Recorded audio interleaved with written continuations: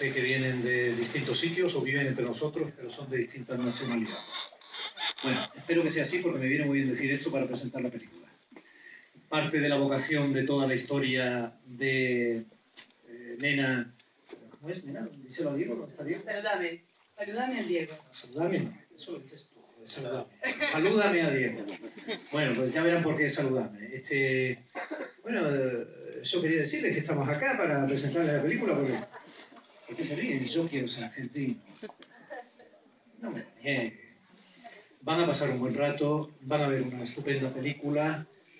Bueno, lo voy a decir porque lo estábamos comentando. Es una película de mujeres, Andrea, Sofía. Es una película de mujeres, porque sois una pecha de mujeres. Es un gineceo y porque la guionista es una mujer, eh, porque la productora es una mujer, además tu madre. Porque, claro, ¿cómo se le dice que no una madre? Una película.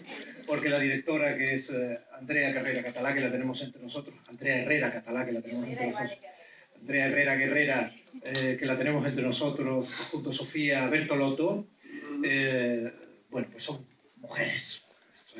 El director de fotografía es un hombre, pero yo supongo que la que tenían se puso enferma.